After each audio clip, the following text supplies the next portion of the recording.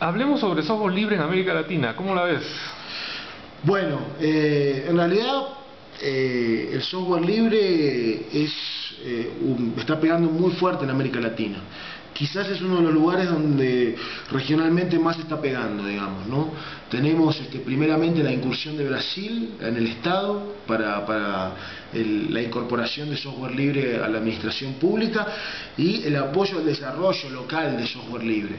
Después, bueno, tenemos este, a, Venezuela, a, Ecuador, a Argentina, Costa Rica ahora está entrando también en una etapa donde las universidades este, ya están este, por ley utilizando software libre este, y en, en otros países el software libre está creciendo mucho no solamente desde la comunidad de usuarios y, usuarias, que es sumamente importante, que es lo que realmente hace que, una, que el software libre pueda existir, sino también desde el apoyo desde este, instancias mm, más altas, ¿no? en este caso el Estado, digamos, o sea, que el Estado apoye el software libre eh, es un incentivo muy grande para muchas personas que están queriendo desarrollar el software libre, digamos. Entonces, bueno, el, este, el panorama del software libre en la región latinoamericana es bastante alentador. Si bien este, todavía hay mucha gente que utiliza este, software privativo en sus computadoras, eh, a nivel eh, empresas y administración pública se está migrando bastante hacia software libre y también en algunas universidades.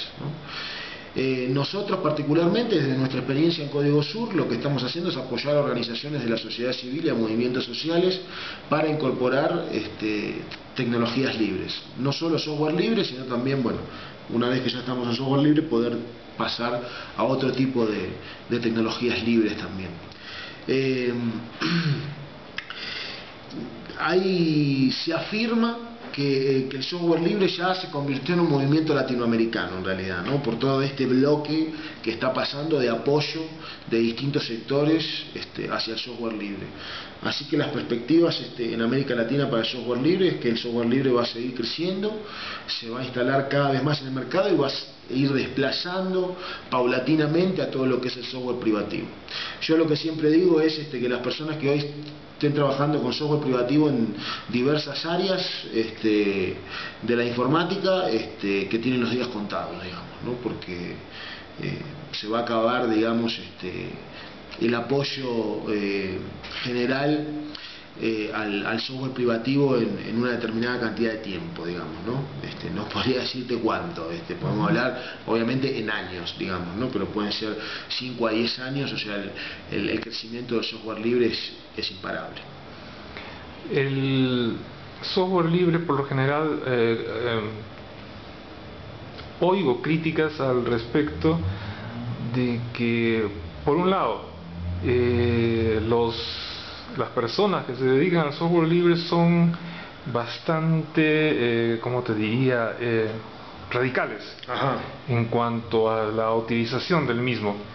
Y por, otro, por otra parte, eh, también he leído de que el software libre se limita a copiar lo que saca el software privativo y dar la versión software libre de diversos productos y que no tiene originalidad. ¿Qué me puedes decir? Bueno, lo primero que te puedo decir es este, que no, que el software libre es este, sumamente original y voy a poner el caso de Firefox, por ejemplo, que es el, navegador web, que es un, navegador web de la Fundación Mozilla, que es software libre. Eh, en la lucha que, hubo entre los navegadores, los browsers en el mundo, eh, el Internet Explorer tenía el 98% del mercado hace unos años. Hoy en día este, está empezando a caer, ya este, hay 40% de mercado que perdió, están en aproximadamente en el 60% del mercado. Eh, cuando salió Firefox, una de las primeras este, mejoras que hizo Firefox en relación al Internet Explorer que, que, podía hacerse era, no sé si se acuerdan que hace algunos años, Internet Explorer 5 y 6, cuando nosotros queríamos abrir una ventana nueva, teníamos que justamente abrir una ventana nueva. Y si queríamos recorrer muchas páginas a la vez, teníamos que tener 30 ventanas abiertas en nuestro sistema operativo, ¿no? distintas, cada una en una instancia de Internet Explorer. Firefox dijo, me parece mejor que lo resolvamos con unas pestañas. y empezó con el concepto de pestañas eh, para, la, navegación de diferentes páginas. Entonces vos podías tener 30 pestañas abiertas en una sola ventana de Firefox.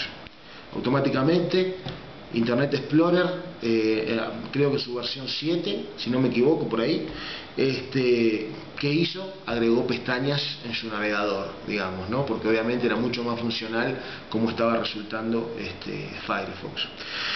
Eh, el 80% de Internet aproximadamente, no es un número exacto, pero más o menos por ahí, funciona sobre software libre.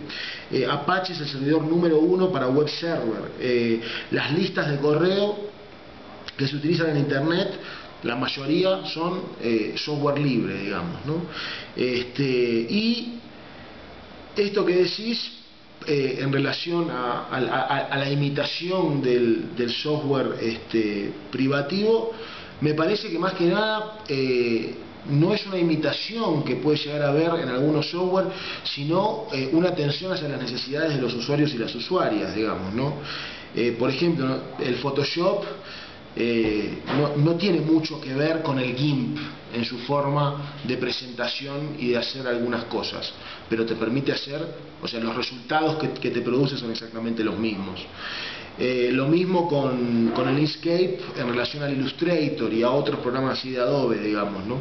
Hay muchos programas que están instalados, digamos, este, en, algunos rubros específicos, por ejemplo en el video, en el audio, digamos, ¿no? Donde ya tenés una gran cantidad de usuarios que sabe usar de una determinada manera este, un software y a veces lo que se intenta es que la curva de aprendizaje no sea demasiado distinta hacia lo que la gente ya conoce para no volverla loca y también para el nivel de penetración que puede tener este, el software libre en este, usuarios que hoy están usando este, plataformas privativas. Entonces me parece que no es tanto este, una, una copia, digamos, en sentido, sino que algunos proyectos lo que intentan es equiparar este, para que las personas usuarias no tengan este, tantos problemas con la apropiación de las herramientas.